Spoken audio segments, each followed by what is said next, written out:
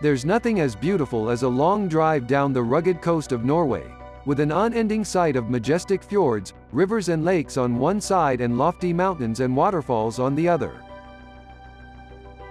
With seven ferries along the way, the almost 700-mile trip between the cities of Kristiansand in the south and Trondheim in the north typically runs about 21 hours, at an average speed of about 30 miles an hour. And each ferry ride costs about $16, which makes even a one-side trip quite expensive. The rugged west coast of Norway, home to thousands, is a challenge to travel along by car.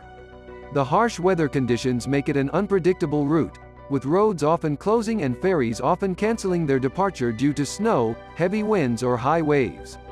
Even if the weather is clear, each ferry ride can take about 45 minutes time and costs about $16 per ride. Steep, icy mountains and deep fjords make western Norway route famously scenic and will entertain most of the tourists. But it also makes life difficult for the people commuting for business or medical emergencies. Fortunately, the government of Norway has come up with a multi-billion dollar megaproject, Coastal Highway E39, that will hopefully cut the driving time in almost half and make the journey ferry-free. The $48 billion master plan aims to replace ferries with bridges and to create tunnels. Rogfast is one of the first crossings in the series which will link E39. The structure will reach depth of up to 390 meters below sea level and 27 kilometers long, making it the world's first, deepest and the longest rock tunnel. But the most ambitious aspect is the development of submerged floating tunnels that sit around 30 meters under the surface of the water. Some of the fjords along the route are too wide or very deep for conventional infrastructure, which makes the mega project a complicated test for engineers and architects. The floating tunnel however, will be built within a fjord over 1400 meters deep. The plan is to build it deep enough under the surface so as to allow the biggest ships to safely pass over but also ensure that there is enough room underneath to accommodate submarine passage. The depth of the tunnel will also keep it away from the influence of winds, waves and currents, making it compatible for smooth driving underwater. Currently 50 international experts are doing detailed simulations and detailed measurements of wind speed, current, undersea landslides, bedrock geology, etc. to make sure the plans, as well as the tunnel, is rooted in the real-world environment, says Arianna Minoretti, chief engineer at Norway's Public Roads Administration. The two concrete tubes of the tunnel, one for traffic headed in each direction completely submerged into water and will be firmly fixed in position and attached to floating pontoons, spaced 820 feet apart to allow sea vessels to pass through. This new way of transportation will be extremely beneficial for Norway even from an economic point of view.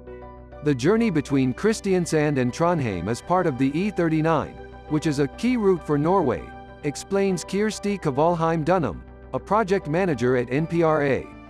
A combination of motorways, roads and ferry rides, E39 runs along the southwestern Norwegian coast. More than 50% of export goods in Norway originate from this area, yet the route has a very low standard for a European road. Crossing the fjords via ferry, a popular transport method, can be time-consuming. The ambitious underwater tunnel project will make the passage easier, faster and cost-efficient. These new roads will also shorten the paths to hospitals, schools and markets, which will leave Norway with a sustainable, more diverse economy. Norway also hopes that the megaproject will also help in population growth as some areas like Tysnes, in the rural area of the western coast have lost over 50% of its population in the last century due to inaccessibility. The Coastal Highway Route E39 project is the largest infrastructure project in modern Norwegian history, and possibly the largest ongoing road project worldwide.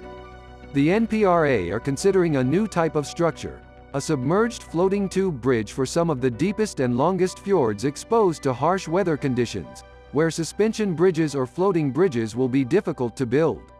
When a fjord is deeper than 100 meters or wider than 2 to 3 kilometers, existing engineering solutions aren't applicable. The seabed would be too deep for a traditional rock tunnel because it would imply the use of a huge amount of land on the shores.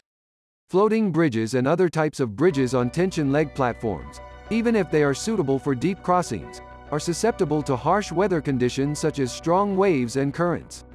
This is why the submerged floating tube bridge has become an attractive solution for some of the longest and deepest fjords. Its submergence can naturally reduce the main sea load. The submerged floating tube bridge is certainly an engineering marvel, but the idea isn't new. In 1886, British naval architect Sir James Edward Reed also proposed the concept of such a floating tube bridge. In Norway the idea was studied since 1923 but the technology was not that advanced at that time.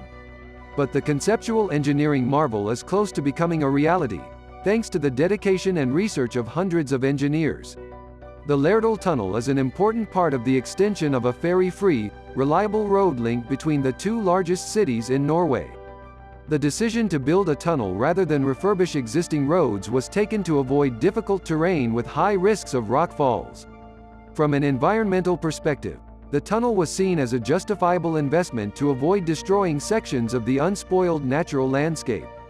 The Coastal Highway Route project has collaborated with three of the largest universities in the Nordic region, the Norwegian University of Science and Technology, the University of Stavanger and Chalmers University of Technology, and has about 50 PhD candidates working on solving different engineering challenges related to the E39 project.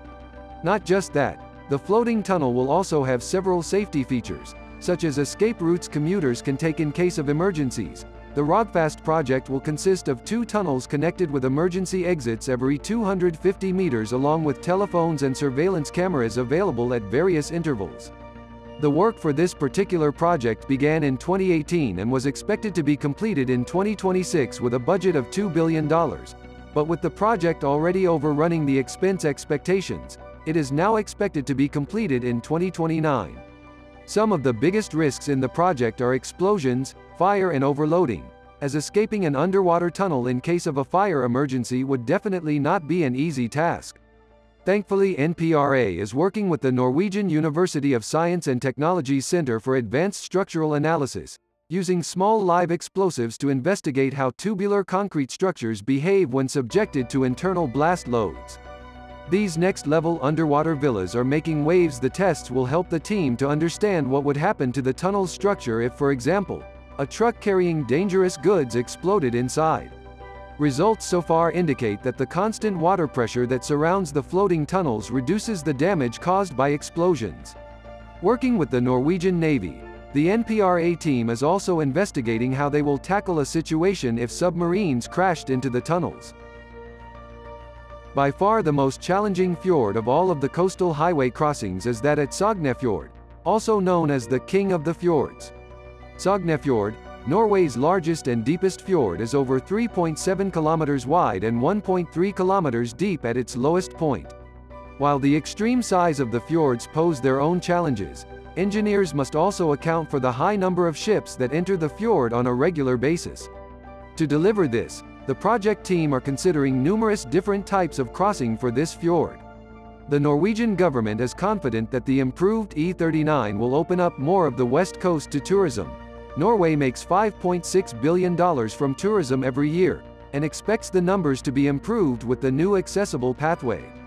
While the tunnels may become attractions in their own right especially if they are a world's first, just like an Eiffel Tower but underwater. The E39 highway will also create new links between islands and the mainland. It is expected that the 1,100 kilometers long floating highway will be running by 2050. A continuous E39 highway that will be accessible 24-7, with fixed links between islands and the mainland will make the western coast ODF Norway more accessible for not only the people who are living at the coast, but also for tourists and for the transportation of goods. This engineering marvel is one of a kind. Norway may be the first one to start working on such an ambitious project but it will definitely not be the last one as China and Italy are also working on the same kind of model. It will be interesting to know who will finish it first. What are your thoughts about the underwater highway? Which country do you think will finish first? Tell us in the comments down below. Thanks for watching. Don't forget to like the video and subscribe to our channel if you haven't already.